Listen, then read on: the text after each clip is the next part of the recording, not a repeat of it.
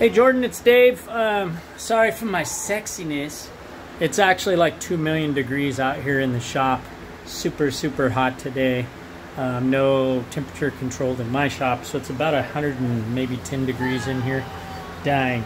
Um, I wanted to give you a tour of the aircraft so you kind of understand how everything operates. Um, I will be posting all of this. This will be build type stuff to help you out. Um, so let's go over a couple of things. Okay, this section, you have this pad, which has got dents in it from laying on top of something. Um, this pad here goes in there like that. This allows you to have access to filling the water. Then you also have this fat pad right here, which goes in there like this.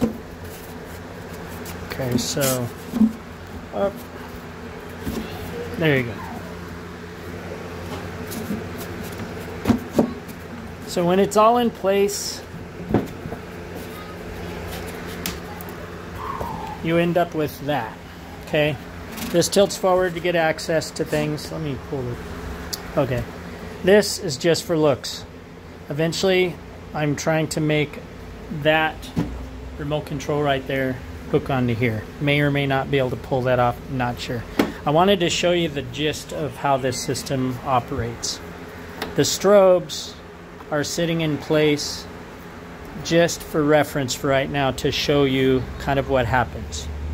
So the way it works is you're going to have current 12, 12 volts up to 24 volts.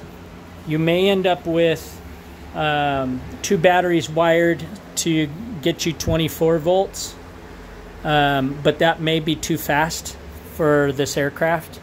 And if that's the case, we'll drop her down to 12 volts and wire them up where you get more amps because uh, you did pay for two batteries. Um, anyway, there we go. So what you have is these wires here coming into this master switch right here. These wires will be coming up from the bottom of your um, floats. So the floats are going to contain the motors I showed you over here will be in the floats. They're 12 volts. They will come through the float assembly to the battery and emergency shutoff that if you had to you could run beside and just slap the vehicle and it'll shut it off and you can always run up and knock this down and that'll shut it off. But that comes into here. The master arm will run power straight over here to this. This is a voltage reducer to 12 volts. That's because we're assuming 24 volts is coming in here, going to that, and everything else in this plane is 12 volts. Everything's 12 volts. The motors can be 12 or they can be 24. But what you don't have to mess with this, this whole hub assembly right here uh, not hub assembly, I shouldn't say. Um, this whole piece right here, this is a 12 volt distribution board. Just think everything on here is 12 volt because it's being fed by this reducer. Okay, so this is your master um, motor driver and it's designed to handle up to 30 amps peak power on those motors, which should be totally fine. I don't anticipate any problems there unless your kiddo's trying to drive it through a, ginormous uh, hole and it's, you know, fighting it. When you're done, there will be a remote control input that goes here. That's what is going to operate. The receiver is going to plug into this. You also have the ability of switching to analog joysticks. Analog joysticks have a tendency to be really jumpy. Um, remote control ones can be tweaked down using the exponential programming that I can dial down. So that's kind of why that's there. The lighting is going to be as expected. You have two lights up here that will wig wag and we discussed they each flash independently these flash based on this module. So you have 12 volts continuing through to this. Each one of these lines, there's two of them, is a lighting circuit. And in this case, we have one going to green and one going to red. If you decide it, and uh, the, these same circuits will be divided up into these two front wigwag lights.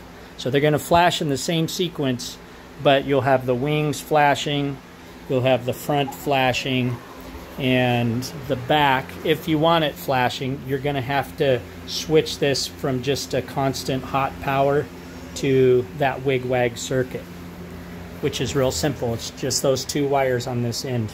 Okay, so the idea is one way of knowing that your airplane is on is that if these lights are, I wired them there where there's no switch to turn them on or off.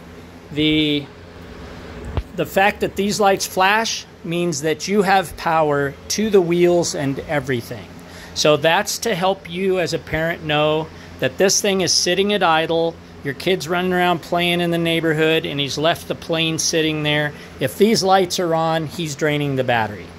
So that's the whole idea there. So this is a um, this is master arm.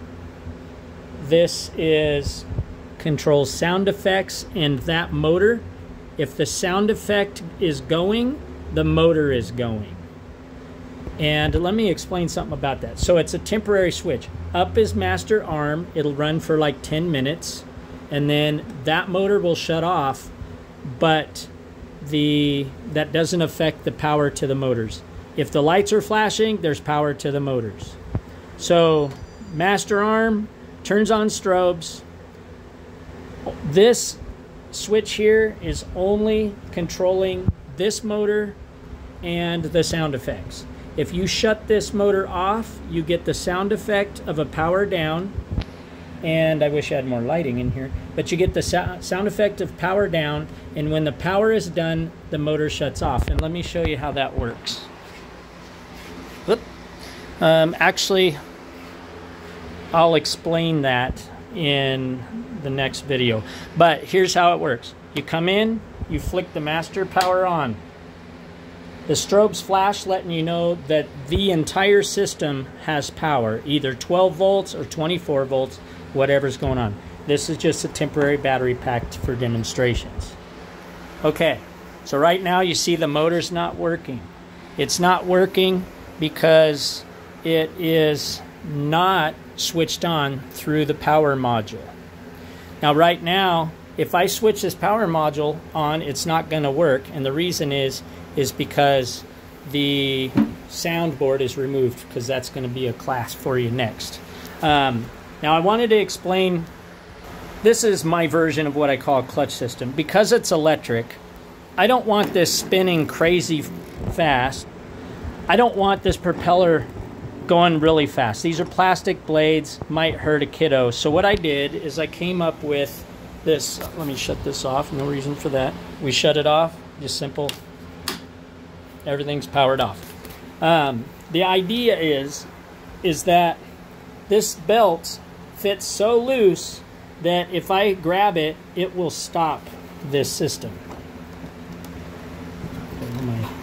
I don't have the lock nut on here because I'm slowly adjusting. Okay, so you can see here, this motor has a lock. It will not spin freely when it's powered off, but I can still turn the propeller. So the idea is, is when this thing's spinning, that's spinning, kid jumps in front of it. The motor might still be working, but this won't spin. So that's a safety feature I recently came up with. So let's uh, switch and go into the house. That'll be video number two of this aircraft.